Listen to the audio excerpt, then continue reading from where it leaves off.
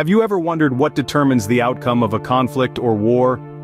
This question paves our way into the profound wisdom of Sun Tzu's classic, The Art of War.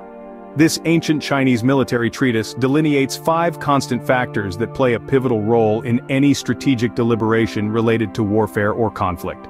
Firstly, we have the moral law. This factor brings into play the ethical and moral aspects of warfare. It underscores the importance of legitimacy, righteousness, justice, and public opinion in the conduct of war. A cause that aligns with the moral law is more likely to garner support and bolster morale. Secondly, Sun Tzu introduces heaven as a factor.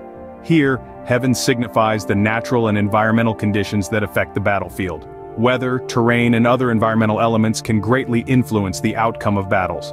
An astute understanding of these conditions could be a game-changer.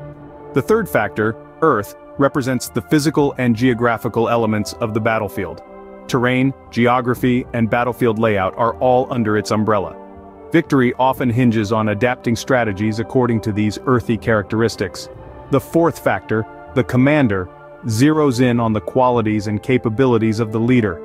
Leadership, intelligence, decisiveness, and adaptability are all key to overcoming the challenges that arise on the battlefield. Lastly, Sun Tzu's fifth factor, method and discipline, pertains to the strategies, tactics, and organization of the military forces. Disciplined training, efficient organization and strategic flexibility are essential to success. Now let's dive deeper into each of these factors and their importance in warfare.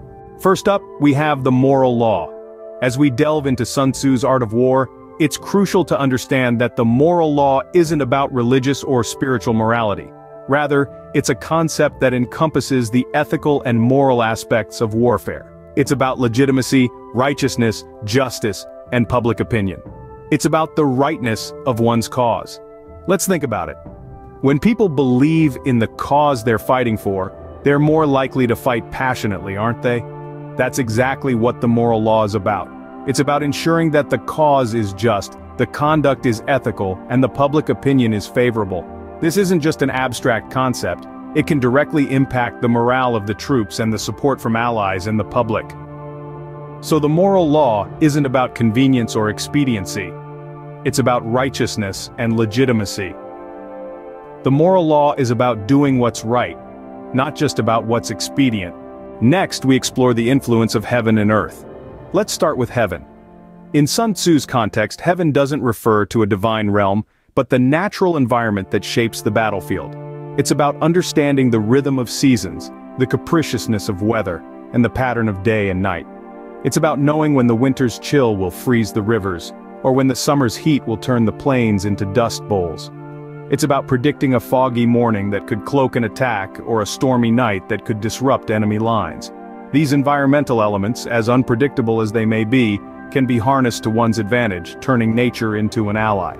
Now let's dive into Earth. In the art of war, Earth doesn't represent our planet as a whole, but the physical and geographical features of the battlefield. It's about knowing the lay of the land, the undulating hills, the treacherous cliffs, the dense forests, and the wide rivers. It's about understanding the strategic significance of high grounds, the potential ambush points in narrow passes, or the advantages of a fortified position. The Earth, with its diverse terrain can either be a formidable barrier or an advantageous vantage point, depending on how well it is understood and utilized. For instance, imagine a force attempting to cross a mountain range. Without understanding the heaven, they might choose a day with heavy snowfall, making the passage nearly impossible. Without understanding the Earth, they might select a route fraught with perilous cliffs and rock slides, but with a keen understanding of both factors, they could choose a clear day and a safe pass, ensuring a successful crossing. So you see, these two factors, heaven and earth, are not just about understanding the environment, they're about turning that understanding into strategic advantage they're about making informed decisions that can mean the difference between victory and defeat, between survival and annihilation. A keen understanding of heaven and earth can turn the tide of war. Now let's take a look at the role of the commander. Sun Tzu placed immense importance on the qualities and capabilities of the individual leading the military operations. He believed that the qualities of leadership, intelligence, decisiveness and adaptability were crucial in a commander. A leader with these qualities can inspire troops, exploit opportunities, and overcome challenges on the battlefield. Imagine a commander who is intelligent and decisive. They can quickly assess the situation, make informed decisions, and act swiftly. This can be the difference between victory and defeat. A commander who is adaptable can adjust strategies and tactics based on changing circumstances. They can turn unfavorable conditions into opportunities for success. And let's not forget about inspiring leadership. A commander who can motivate and inspire their troops can boost morale, improve performance, and build a cohesive and dedicated force. Such a leader can harness the collective strength of their troops to achieve victory. In the heat of battle the commander's qualities can make all the difference. Finally, we delve into method and discipline. Now these are not just buzzwords Sun Tzu threw around, they are the backbone of an effective military force. Let's start with discipline training. Sun Tzu believed that every soldier from the lowest rank to the highest should be well trained and disciplined. This goes beyond just knowing how to hold a sword or shoot an arrow. It's about understanding the chain of command, knowing how to respond in different situations, and being ready to adapt at a moment's notice. It's about transforming an individual into a piece of a larger, cohesive unit. Now, onto efficient organization. This is where the commander's role comes into sharper focus. A well-organized army can move swiftly, respond effectively, and maintain morale even in the face of adversity. It's about ensuring that every cog in the military machine is well-oiled and functioning optimally. Last, but certainly not least we have strategic flexibility. This is the ability to switch tactics, change plans, and adapt to the ever-changing conditions on the battlefield. It's about not being rigid or bound by a single plan. Remember in war, the only constant is change. So whether it's a well-trained soldier, a well-oiled army, or a flexible strategy, it all boils down to one thing. Method and discipline.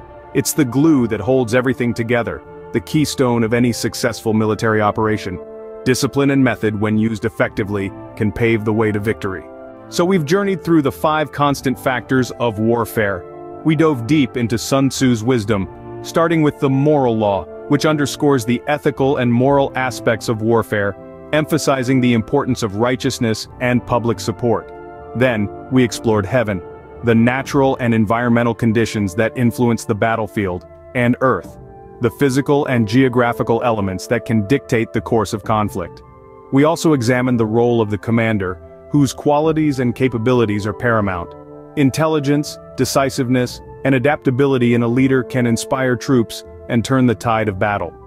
Lastly, we touched upon method and discipline, highlighting the significance of strategic flexibility, disciplined training, and efficient organization. These five factors, when balanced and considered carefully, equip commanders with the tools to make informed decisions and craft effective strategies. Remember, victory in battle is not just about force, it's about strategy. For more insights into the art of war, follow our channel, click like, and turn on notifications. Stay tuned for more.